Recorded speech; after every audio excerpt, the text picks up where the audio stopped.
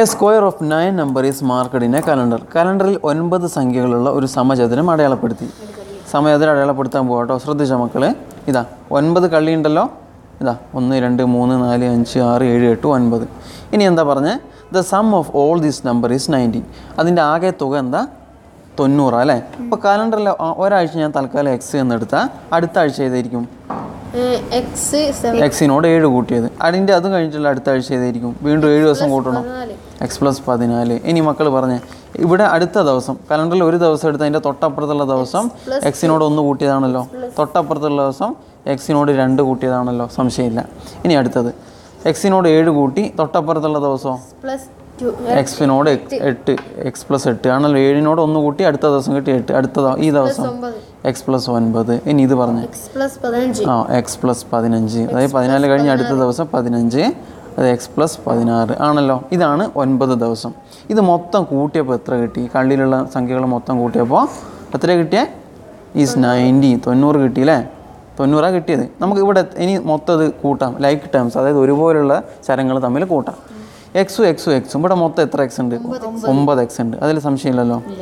ഒമ്പത് എക്സ് ഉണ്ട്. ഇനി ഒന്നും രണ്ടും? മൂന്ന്. ഏഴും? പത്ത്. എട്ടും? പതിനെട്ടും ഒൻപതും?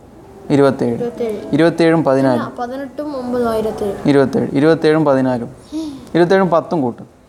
മുപ്പത്തേഴ്. മുപ്പത്തേഴ്. നാലും. നാൽപ്പത്തൊന്ന് പത്തും. അൻപത്തൊന്നും. അഞ്ചും.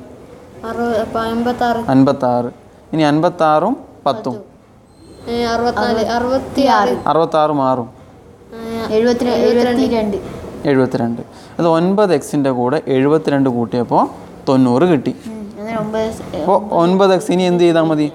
ഇതിന്റെ എളുപ്പത്തിൽ എക്സിന്റെ വില കണ്ടെത്താലോ?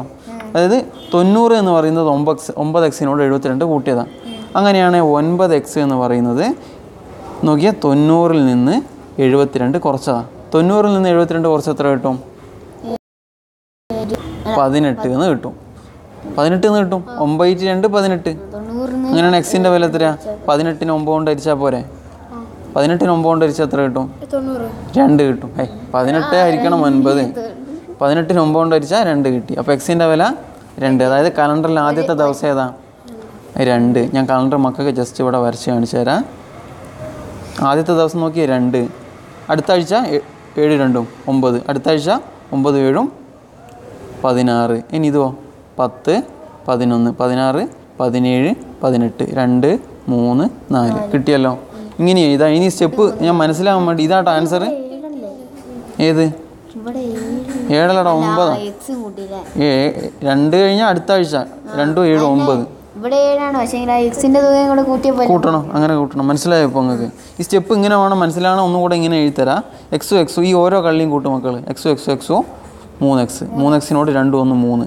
ആദ്യത്തെ കള്ളിയിൽ അടുത്തതോ? എക്സു എക്സു എക്സോ മൂന്ന് എക്സ് പിന്നെയോ?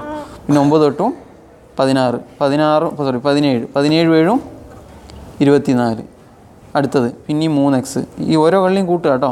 എക്സും എക്സും എക്സും മൂന്ന് എക്സ് പതിനാറും പതിനഞ്ചും മുപ്പത്തൊന്ന് മുപ്പത്തൊന്നും പതിനാലും മുപ്പത്തൊന്നും പതിനാലും നാൽപ്പത്തഞ്ച് എന്താ പറയാത്ത?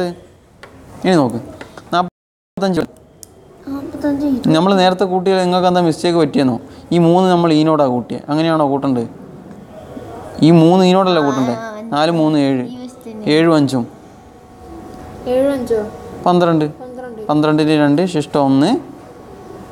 പിന്നെ ഒന്നും രണ്ടും. മൂന്ന്. മൂന്നും നാലും ഏഴ്. ഇപ്പോൾ എഴുപത്തിരണ്ട് എന്ന് കിട്ടും. അതായത് ഒമ്പത് എക്സ് പ്ലസ് എഴുപത്തിരണ്ട് എന്ന് നിങ്ങൾക്ക് ആൻസർ കിട്ടും. മനസ്സിലായോ? ഇനി കണക്ക് മക്കൾ സ്വന്തമായിട്ടൊന്ന് എഴുതിക്കാം. ആൻസർ കിട്ടിയാൽ മനസ്സിലായോ? ഇതാട്ടോ ആൻസർ ഈ പെട്ടി കൊടുത്തിരിക്കുന്ന ആൻസർ